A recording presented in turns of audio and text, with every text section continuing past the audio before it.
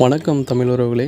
நம்ம வந்து இன்றைக்கி கன்சால்டேஷன் தமிழில் வந்து கூறாட்டத்துன்னு சொல்லுவாங்க. அதை பற்றி சில முக்கியமான விஷயத்த பார்க்க போகிறோம் இப்போ நம்ம சைட்டில் கன்சால்டேஷன் ஒர்க் தான் போயிட்டுருக்கு அதனால் அதை பற்றி ஒரு சின்ன வீடியோ கன்சால்டேஷனுக்கு ரொம்பவே முக்கியமான விஷயம் அதுக்கு கன்சால்டேஷனுக்கு யூஸ் பண்ணுற மண் இதில் எந்த மண்ணை ஃபஸ்ட்டு யூஸ் பண்ணக்கூடாது அப்படின்னா களிமண் யூஸ் பண்ணவே கூடாது. ஏன்னா அந்த களிமண்ணோட நேச்சரே வந்து அது தண்ணியை உள்ளேயும் வாங்காது வெளியேயும் விடாது. அப்படியே தண்ணியை தக்க வச்சுக்கும்.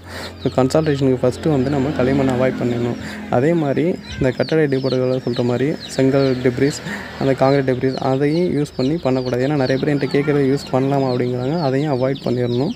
அது பண்ணக்கூடாது.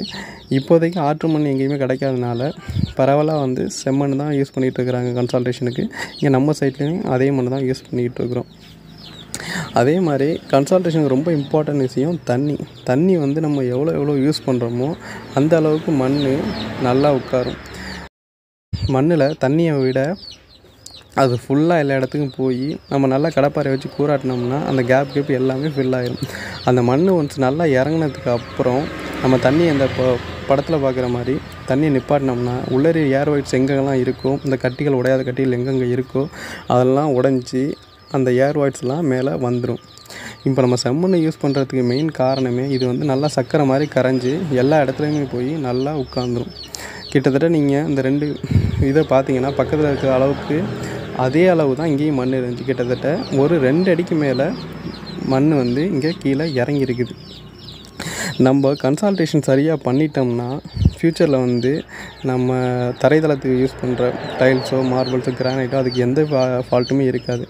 ஒன்ஸ் நம்ம சரியாக பண்ணலைன்னா அது என்ன பண்ணுன்னா கொஞ்சம் நாளாக நாளாக அந்த ஏர் வாய்ஸில் இருக்க மண் கீழே உட்காந்துரும் கீழே உட்காந்துருச்சுன்னா மேலே போகிற டைல்ஸ் மார்பிள்ஸ் எல்லாம் கிராக் விட்டு நம்ம திரும்ப அதை ரீஒர்க் பண்ணுற மாதிரி ஆயிரும். இப்போ நீங்கள் இந்த வீடியோ பார்த்துட்டு இருக்கீங்கன்னா இப்போ நம்ம ஃபுல்லாக கொஞ்சம் தண்ணி விட்டுட்டு ஓரளவு நல்லா அரைக்கி விட்டுட்டோம். இப்போ இதில் வந்து தண்ணியை வந்து ஃபுல்லாக நிற்க வைப்போம். இது வந்து ரெண்டு நாளைக்கு வரைக்கும் இருக்கும். மேலும் நம்ம தண்ணி போகாத இடம் ஏதாவது க கல் கொஞ்சம் பெரிய பெரிய கட்டியாக இருந்துச்சுன்னா அதெல்லாம் உடஞ்சி அதெல்லாம் ஊறி நல்லா உட்காந்துடும் உட்காந்ததுக்கு அப்புறம் ஒரு ரெண்டு நாள் கழித்து மறுபடியும் நல்லா பாறையை போட்டு இன்ச் பை இன்ச்சாக ஒரு அரடி அப்படின்னு போட்டு நல்லா அலக்கி விட்டோம்னா நல்லா செட்டில்ட் ஆயிரும். இதுதான் பேசிக் திங்ஸ் இப்போ நீங்கள் இந்த இமேஜில் பார்த்தீங்கன்னா இப்போ இந்த தண்ணி விட்டு நம்ம வளர்க்குறதுக்கு முன்னாடி ரெண்டு அடி வரைக்கும் ஹைட்டில் இருந்த மண் இப்போ நல்லா இறங்கிருச்சு. இப்போ இதில் தண்ணியை நிப்பாட்டி வச்சிட்டோம்னா இன்னும் உடையாத கட்டியெல்லாம் உடஞ்சி நல்லா செட்டில்ட் ஆகி இந்த மாதிரி தண்ணியை நிப்பாட்டி வச்சுட்டு திரும்பவும் ரெண்டு நாளைக்கு அப்புறம் மறுபடியும் பாறை போட்டு நல்லா அலக்கி விட்டோம்னா மண் நல்லா போய் எல்லா இடத்துலையும் செட்டில்ட் ஆகி நல்லா உறுதியாயிரும்.